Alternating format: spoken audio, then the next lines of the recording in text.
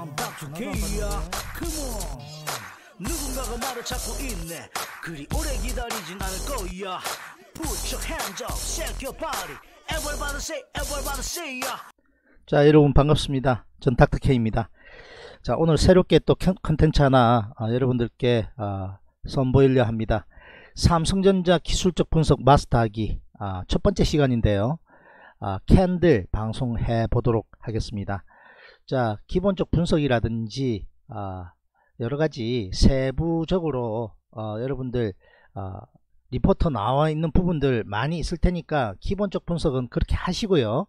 저는 어, 주식 초보다 라고 여러분들을 어, 생각을 하고 삼성전자의 기술적 분석을 해 나가면서 어, 주식에 대한 어, 공부 기초 다져 나가는 아, 그런 시간 가져볼 겁니다 자 먼저 어, 삼성전자 아, 기술적 분석하기 전에 큰 흐름은 좀 알아야 되니까요.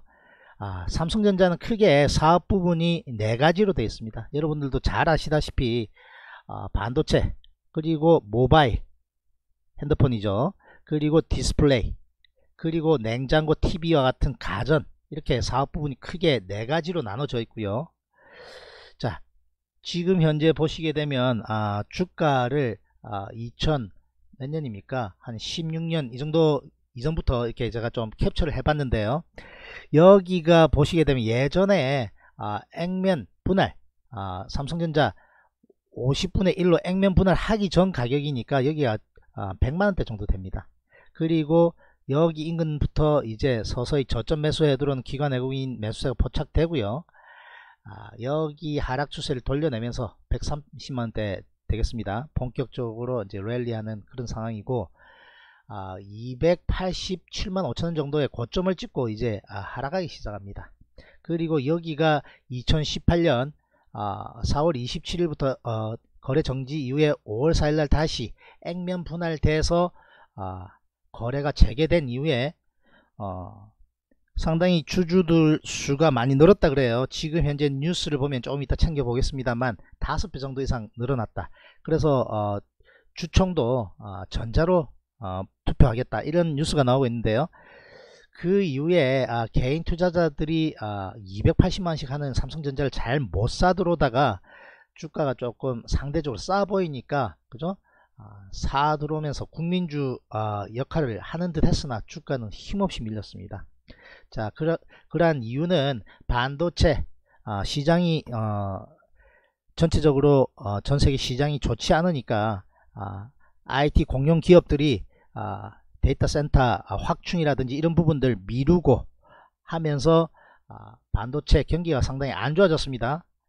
그리고 그러한 부분들 2019년까지도 이어지다가 원래는 한 2020년 초반 정도로 아, 반도체 경기 다시 회복을 기대했으나 조금 빨리 4, 4분기에 아, 실적 내지는 아, 반도체 경기 회복 기대감으로 본격적으로 다시 랠리하기 시작합니다. 그리고 지금 현재 어, 62,800원을 찍었으니까 어, 예전 주가로 환산을 해본다면 314만원을 찍고 이제 아, 밀리는 상황입니다. 자 간단하게 뉴스 어, 아까 말씀드렸던 부분 보면요 삼성전자 1월 30일 날 아, 실적 발표했는데 반도체 부진에 아, 그죠? 실적이 좀 안 좋게 나왔다. 그리고 사업 부분 보면 메모리. 그리고 어, 디스플레이 스마트폰 아, 그 다음에 가전 부분. 이렇게 뉴스 나와 있는데요. 자 여러분들 이러한 뉴스들은 많이 들어보셨을 테고. 자 그리고 아까 말씀드렸다시피 전자투표 도입했다 주주가 액면 분할 이후로, 이후로 5배 가까이 늘어났다 그리고 자, 30%캡 룰. 이것이 이제 아, 여러분들 최근에 삼성전자의 이슈라 할 수 있겠습니다.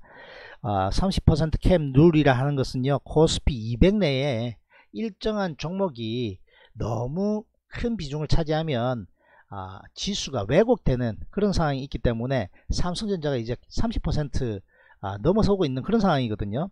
그래서 아, 이러한 부분들 아, 매도가 과연 아, 나올 것인지 아, 그러한 부분들이 지금 이슈를 할 수 있겠습니다. 뉴스는 그 정도 어, 챙겨 보시고요.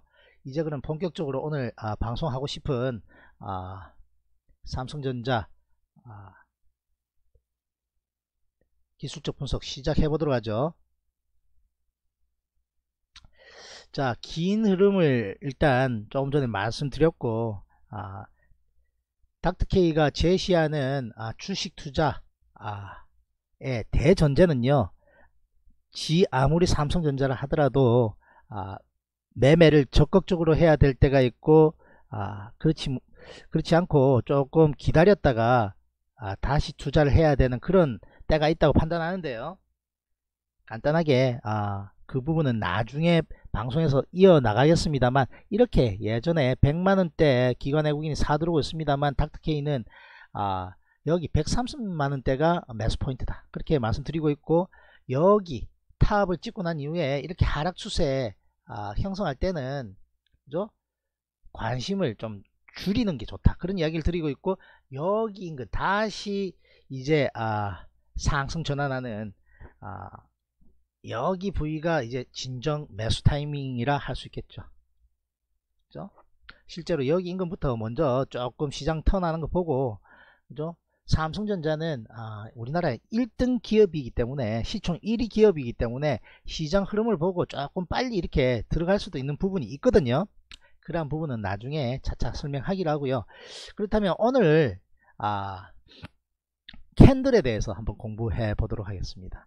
자, candle이라 하면 어, 영어로 어, 이렇게 봉을 candle이라고 하는데요. 크게 아, 보시게 되면 아, 여러분들 전혀 주식에 대해서 잘 모르는 초보자라고 생각하고 방송합니다. 조금 공부해 보신 분이라든지 투자 경험이 있으신 분들은 복습하는 개념으로 한번 봐주시면 되겠습니다. 이렇게 처음에 시작한 시가보다 종가가 아, 높게 끝난 것은 양봉이라 그럽니다. 뭐라고요? 이렇게 시초가보다 아, 종가가 높게 끝난 아, 대체적으로 빨갛게 표시하죠. 양봉이라 그럽니다. 양봉의 상황을 한번 체크해 볼까요? 여기도 양봉 맞죠? 여기도 양봉이에요. 그죠? 여기도 양봉이네요. 자, 이렇게 양봉은 아, 시초가보다 종가보다 끝났으니까 아, 매수세가 우위를 점한 날이다. 그렇게 생각하시면 되겠어요. 누가 이겼다고요? 매수세가 이긴 날이에요. 자, 흔히 어, 저는 어, 시중에서 떠도는 아, 그런 방송이라든지 아, 그런 부분에 매수 포인트를 잡아갈 때 음봉에서 하라 이렇게 이야기하시는 분이 있는데 저는 그 의견에 동의할 수 없습니다. 그 이유를 대자면요. 양봉이란 것은 시초가 처음 시작했던 가격보다 높게 끝난 부분이니까 매수세가 우위다 그러지 않습니까? 비교적 아, 체크해 보시면 이렇게 하락하다가도 양봉을 딱 시연하고 난 다음에는 그 다음에 올라가는 경우가 많아요. 그럼 매수를 음봉에 하는 게 좋겠습니까? 양봉에 하는 게 좋겠습니까? 음봉은 곧 이어서 설명해 드리겠습니다. 그렇죠. 매수세가 우위니까 올라갈 확률이 그 다음날 더 높은 겁니다. 그래서 일단 매수는 양봉에 하라. 그죠? 그리고 음봉은 여기에 보이네요. 시초가가 고가고요. 저가가 아, 종가로 끝난 부분을 음봉이라 그럽니다. 여기도 그렇고요. 여기도 그렇네요. 그러니까 아, 처음 시작한 가격보다 빠져서 끝난 부분이 음봉이다. 그렇게 생각하면 되겠습니다. 자 그럼 조금 전 논리 다시 한번 대입해 볼까요? 음봉이 나오고 난 이후에는 이렇게 음봉이 나온, 나온 이후에는 이렇게 빠지는 경우가 많아요. 운봉이 나온 이후에는 이렇게 빠지는 경우가 이렇게 많은데 운봉에서 매수하라. 뭐, 설득력이 없죠. 그렇게 생각하시면 돼요. 자 그렇다면 이제 아래 윗꼬리를 아, 말씀드릴 수 있는데요. 이렇게 보면 처음에 시작했던 시초가보다 이렇게 밑으로 밀렸다가 다시 끌어당기는 이 상황을 아래 꼬리라 그럽니다. 그죠? 반대로 시작한 가격보다 올랐다가 처지는 이러한 부분은 윗꼬리라 그래요. 그죠? 자, 단순하게 아랫꼬리, 그 다음에 윗꼬리 이렇게만 어, 생각하시면 그 진정한 어, 의미를 다 파악했다 할 수 없거든요. 아래 윗꼬리를 같이 보여주는 이러한 날도 있습니다. 아래 윗꼬리. 자 그러면 아래 윗꼬리 좀 전에 뭐 설명하던데 무슨 의미가 있느냐? 네 그렇습니다. 아래 꼬리는요 이렇게 지지의 역할을 합니다. 뭐라고요? 이렇게 아래 꼬리는 여기 부위가 하니까 아, 반등하고요. 여기 부위가 하니까 반등하죠. 자 지지의 역할을 합니다. 나중에 지지와 저항 이런 부분 다 설명할 거예요. 그러면 그러면 윗꼬리는 무슨 역할을 한다? 그렇죠. 저항의 역할을 합니다. 여기 인근에서 밀렸다가 다시 반등을 해도 윗꼬리 달면서 또 밀리고 윗꼬리 달면서 밀리고 윗꼬리 달면서 밀리는 저항의 역할을 해요. 그죠? 자 그리고 아, 또 이렇게 아, 시초가와 종가가 거의 같은 가격대이고 아래 윗골을 다는 이러한 부분은 도치라 그럽니다. 도치 다치라 이렇게 하죠. 근데 흔히 우리가 도치라고 표현합니다. 자 그러한 아, 부분이 여기에도 나와 있고 그 다음에 여기에도 비교적 밑꼬리가 좀 길기는 합니다만 아, 아래꼬리 윗꼬리 단 도치의 형태입니다. 그 다음에 아, 일단 여기 도치 부분을 좀 설명을 하자면요. 도치는 방향의 전환을 어, 암시하는 겁니다. 자, 지금 현재 하락하다가 아래 윗꼬리를 달았다는 것은 무엇을 말할까요? 시초가 종가는 거의 비슷하고 그렇습니다. 매수 매도의 세력이 팽팽하게 힘이 아, 맞물려 있다 이겁니다. 하락하던 부분에서 도치가 나오면 아 상승 전환도 기대해 볼 수 있겠구나. 그렇게 아, 생각할 수 있고요.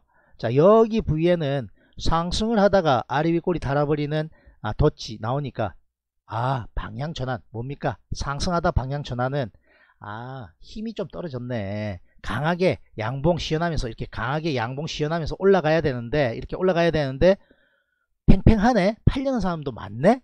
아 조금 조정도 가능하겠다. 그렇게 방향의 전환을 아, 한번 생각해 볼 수 있는 것입니다. 자 그러면 간단하게 짚어 나가면서 마무리 할 텐데요.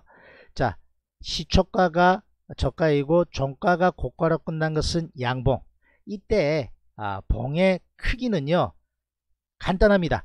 양봉만 크면 클수록 좋아요. 장대 양봉이라 그러죠 양봉만 크면 좋아요. 나머지는 작아야 된다. 크면 좋지 않다. 그렇게 생각하시면 돼요. 이렇게 양봉을 시연하고 올라갈 때는 크면 좋고요. 이렇게 음봉이 떨어질 때는 지금 한번 보십시오. 어저께 어저께도 음봉이 크게 떨어졌죠? 이틀 전에도 크게 떨어졌죠? 음봉 이후에는 음봉 빠질 가능성이 높죠? 매수 타이밍은 언제 해야 된다? 양봉 때 해야 된다. 그렇게 말씀드리고 있습니다. 그리고 아래 윗꼬리는 아래 윗꼬리는 지지와 저항의 역할을 한다 그리고 아래 윗골이 있고 시초가가 거의 같은 가격대인 도치는 방향의 전환을 암시한다. 그렇게만 일단 알아두시면 되겠습니다. 자 오늘 삼성전자 기술적 분석 어, 여러분들하고 첫 방송 해봤습니다. 계속 이어서 여러분들 어, 주식 기초 다지는데 어, 모지람 없게 어, 알차게 방송 구성해 볼 테니까요. 시리즈다 시리즈다 생각하시고 차근차근 공부해 보시기 바랍니다. 자 구독 안 누르고 시청하고 계신 분들 절반 가까이 되는 걸로 파악됩니다. 구독 눌러주시고요. 좋아요 좀 눌러주시면 닥터케이 힘이 나겠죠. 추천 방송 올려놓을 테니까 공부 한번 해보시는 시간 가져보시기 바랍니다. 전 닥터케이였습니다. 다음 시간에 찾아뵙도록 하겠습니다. 바이바이! 누군가가 말을 찾고 있네 그리 오래 기다리진 않을 거야 Put your hands up, shake your body Everybody say, everybody say, yeah